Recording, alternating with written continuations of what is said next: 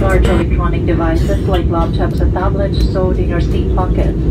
When the shades open, tray tables stowed in your seatbelt securely fastened. We'll be coming around to assist you prepare for your arrival.